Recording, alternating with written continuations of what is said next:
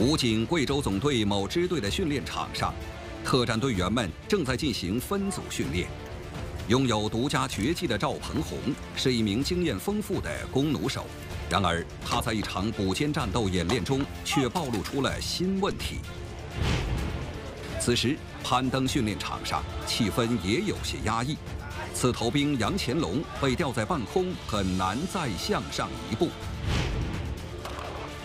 不远处的射击训练场上，小队长许乐乐成绩已经达到优秀，然而教练员却并没有表扬他，而是严厉地指出了他的问题。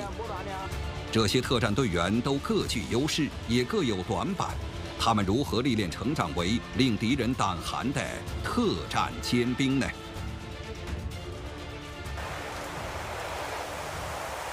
现在挑战的就是现在这个小铁环，试一下这个。长远距离上三十米，能不能精确命中，从这个中间穿过去？天降大雨，弓弩手赵鹏红仍旧像往常一样，对距离三十米外直径两厘米的铁环进行射击，模拟的是在实战中通过小孔或者更小的缝隙击杀躲藏在遮蔽物后的恐怖分子。对赵鹏红来说，刮风下雨是难得的训练时机。相对于枪械射击而言，弓弩射击初速小、射程短，风雨将会很大程度上影响弩箭飞行的稳定性和精准性。弩箭比较轻，打过去距离较远的时候，这个风力吹过来的话，羽毛稍微吹歪一点，就会影响我们的偏差。看不清楚，这个水柱太大了，瞄准镜框上在跳动，而且有一层水雾。赵鹏红用双眼来瞄准，左眼扩大观察范围，确定铁环的大致位置后，再用右眼瞄准。然而，连续两次他都没有命中目标。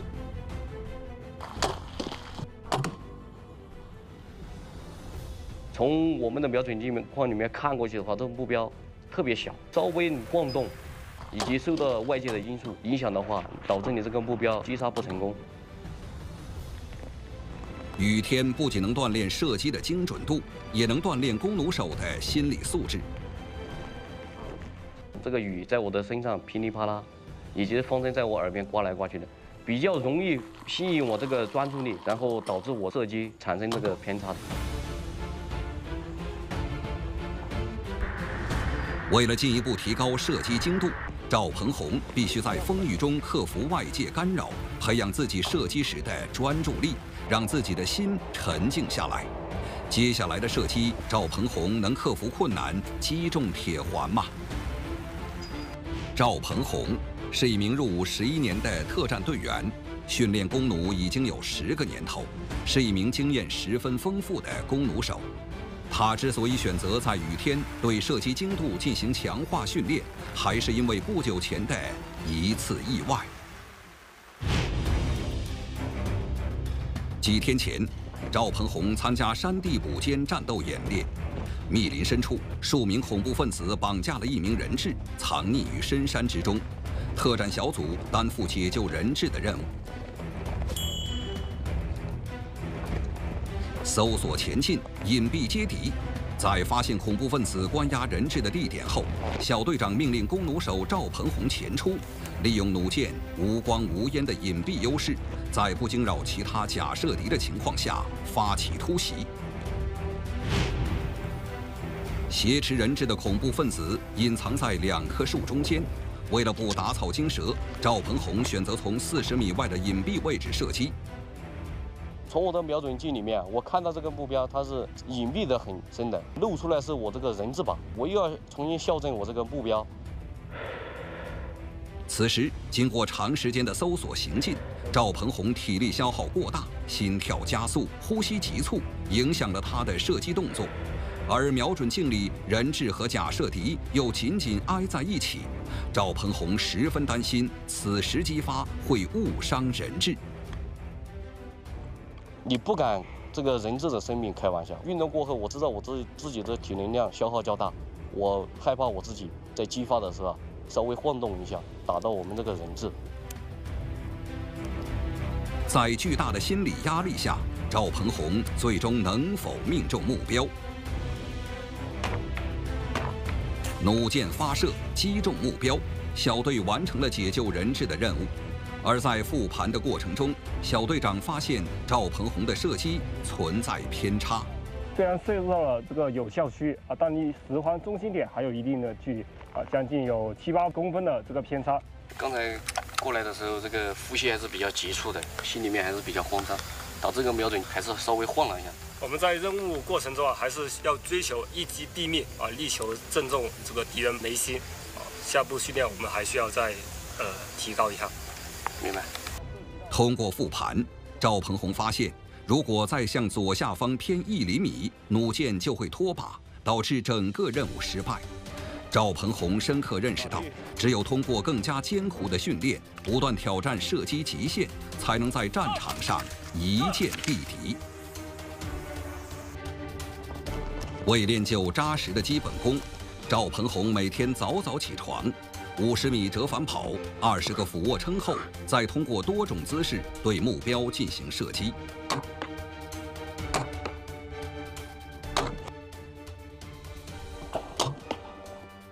坐姿又打高了，坐在那里，整个人都是缩在一起的，呼吸有点急促，可能导致扣的时候啊猛了一点点，导致有点偏差。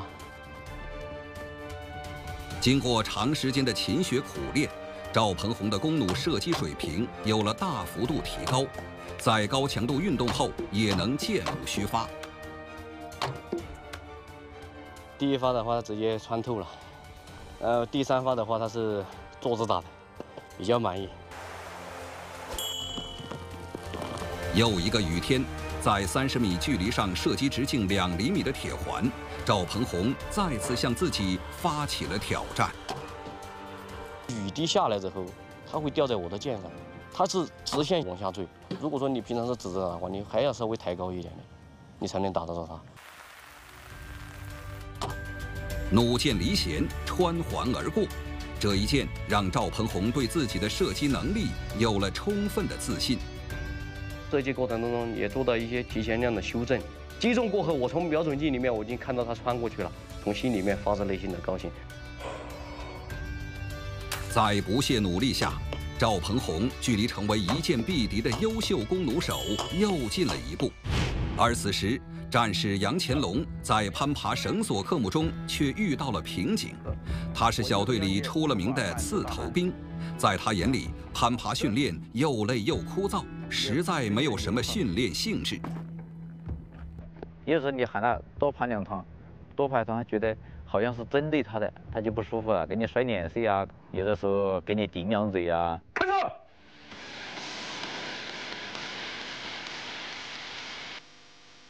利用绳索攀爬高层建筑，在城市作战中应用较多，这也是特战队员的必备技能之一。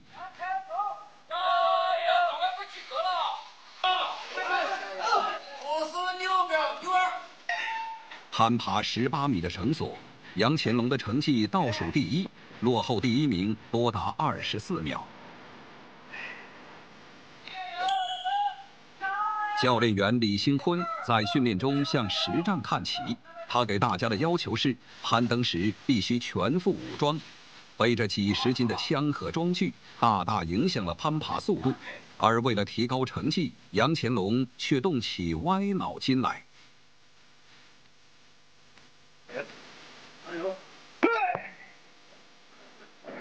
哎呀啊！这枪不是我的。你的钢板呢？啊？钢板去了。为什么？因为刚刚爬一趟，我怕这一趟爬不上去了。啊，爬不上去。是。这是有东西跺脚嘞。是。啊。再加一样黄山叶给他。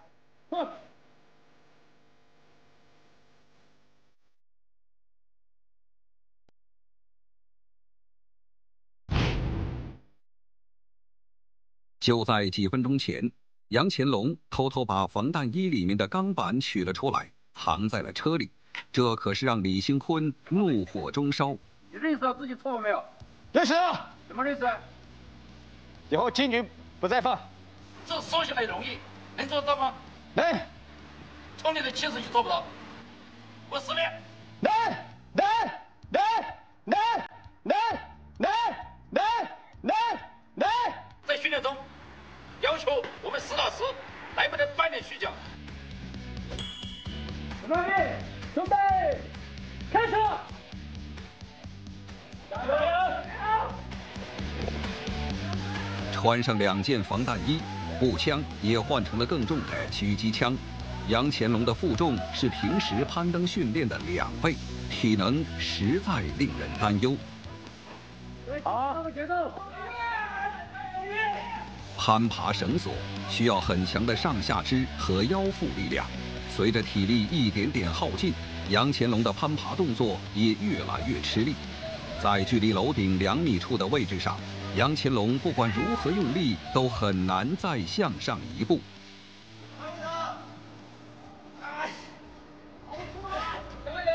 手上一点力都没有，根本抓不住那个绳，脚上抓不住那个绳，那种痛苦法，就生不如死那种感觉。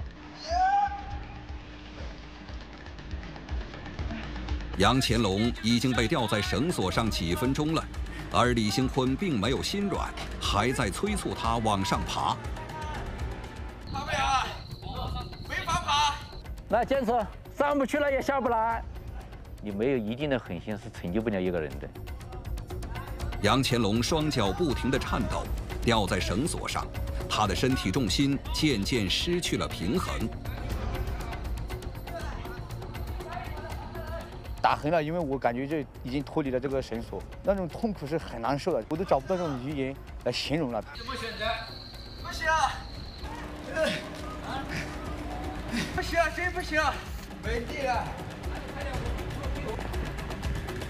看到杨乾隆确实没有办法再进行攀爬，李兴坤最终还是把他放了下来。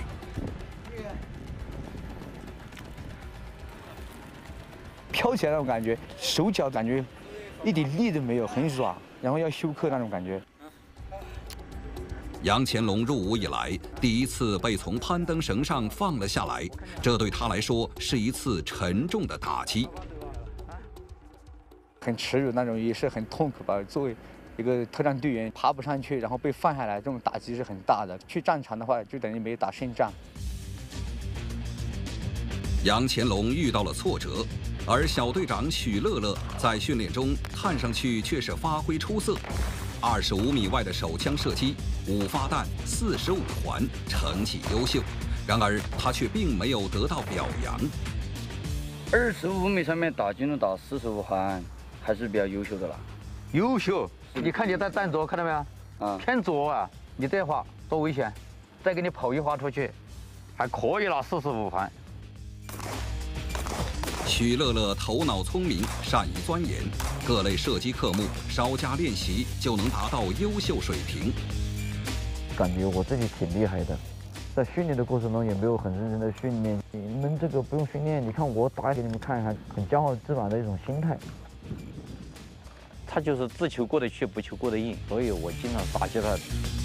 在教练员李兴坤的帮助下，许乐乐对自己射击中存在的问题加以改正。看你打的时候啊，这个姿势上定型还是不够，你整个打枪啊都有点偏左，想把那个枪控制死，老是拿左手的力量，左手只起了辅作用，还是只占三分之一的力量，主要是辅的，右手还是起关键的。举枪，十分钟。出去！注意盯到我们的准心。这种手枪距枪定型训练的方式看似简单，却可以很好的锻炼腕部力量，提高射击的稳定性。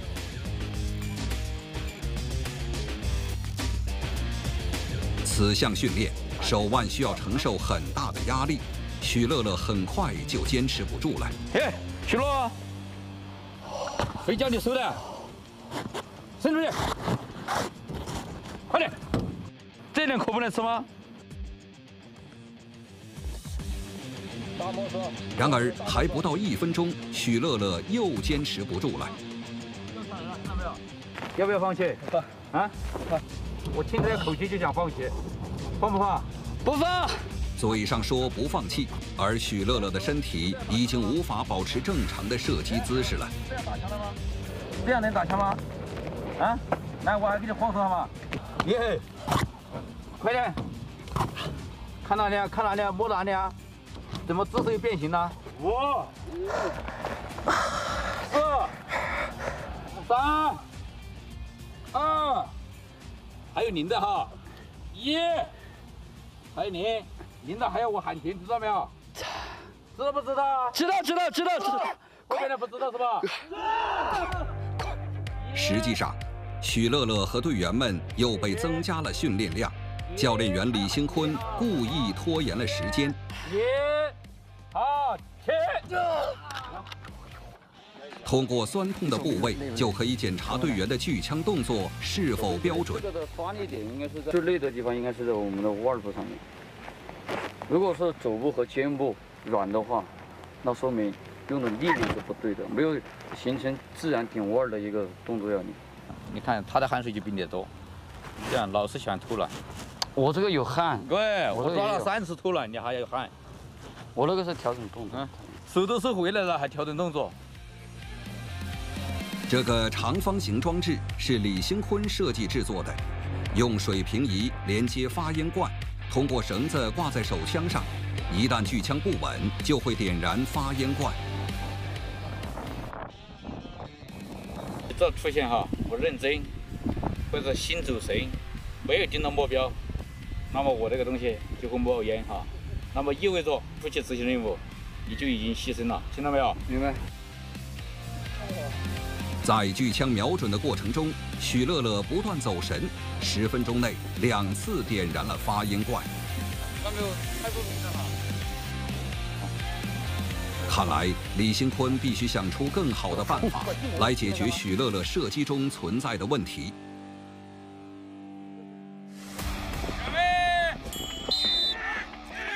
平时，队员们经常进行拔河比赛，锻炼上下肢和腰腹力量。来作为攀爬绳索的辅助练习。然而，他们的拔河规则与众不同，地上没有判定胜负的标志线，直到有一方体力耗尽败下阵来，拔河比赛才能结束。你们是不是少个人？准备！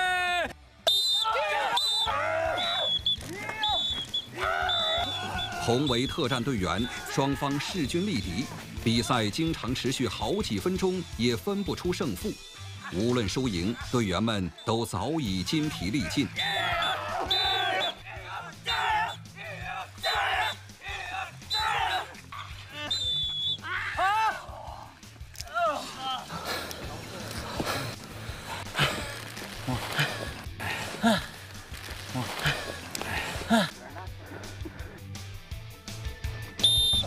攀爬成绩落后，杨乾隆成了小队里重点关照的对象。他的对手经常是两名队员。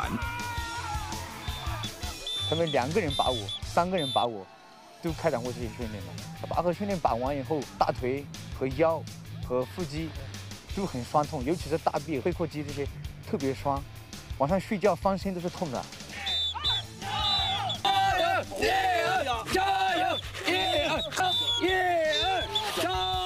经过一次又一次的磨练，杨乾隆的上下肢和腰腹力量得到了很大提高，而这样能否提高他的攀爬成绩呢？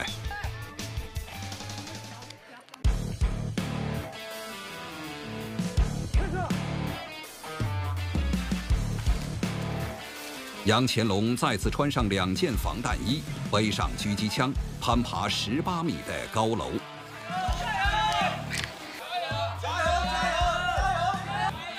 在距离楼顶两米的位置上，杨乾隆体力几乎耗尽，被迫再次停了下来。没力了，不行也得行，只有上没有下。加油！一二，一二。这一次，杨乾隆并没有选择放弃，他拼尽最后一点力气，对目标发起冲锋。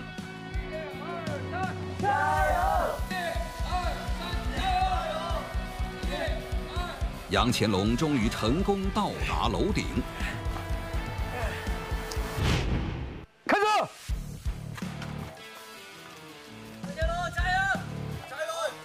现在，杨乾隆每次攀登成绩都保持在了四十秒之内，已经达到了优秀的水平。那个前面再放松点，快！加油！加油！快！到了！到了！到了！大手！三十五秒三三。突然间能爬到优秀，这给我的是一个很大的惊喜，所以说这个成就感还是挺高的。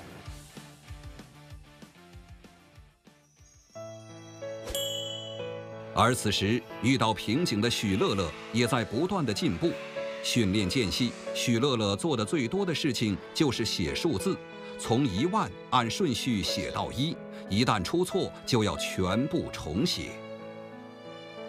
当时就说是我这个人心性很急，就是说需要专门的磨练一下这个性子。最开始写的时候就乱写嘛，写的很潦草，后面就。一笔一画，一笔一画，一个数字一个数字去对待的时候，慢慢慢慢的让自己心性平稳下来。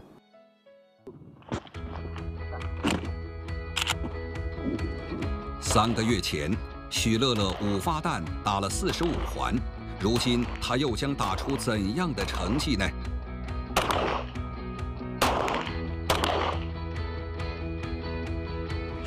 四十九环，成绩非常优秀。第一次打这个四十九环呢，心里面就没有多大的变化，就不会像第一次打四十五环很高兴、很傲慢的那种状态。我感觉很平淡、很正常。我觉得打四十九环是我训练了这么久了，是我应有的这个水平。可以嘛？这段时间都不是四十八九哎，打个五十环，进去打五个十，不是正确，那必须五个十，那是正确。必须五个十，你这口气都不行，一定行啊！李兴坤在支队里是很有名气的狙击手，射击成绩了得。这一天，许乐乐向李兴坤发起了挑战，从五十米外在行进间用步枪和手枪交替射击目标靶。难度还是很大的，因为前进的过程当中，人员的那个呼吸，还有就是身体的上下起伏是有一定呃晃动的。对我们构成一个瞄准是有一定难度的。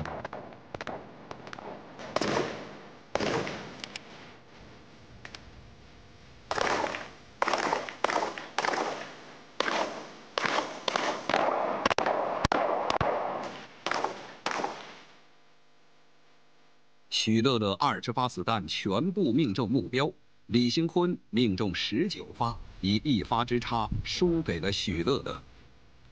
答应我了，看弹道还是很集中的，都二十发，哎，就上了，一发都没跑，还是不错，洛洛，打，啊，对，继续保持，明白。他把我培养出来，然后我所学的技能又传授给下一代，这个就是部队里面讲的一种传承。数十年如一日的艰苦训练，不仅是技能的提升，更是意志的磨练。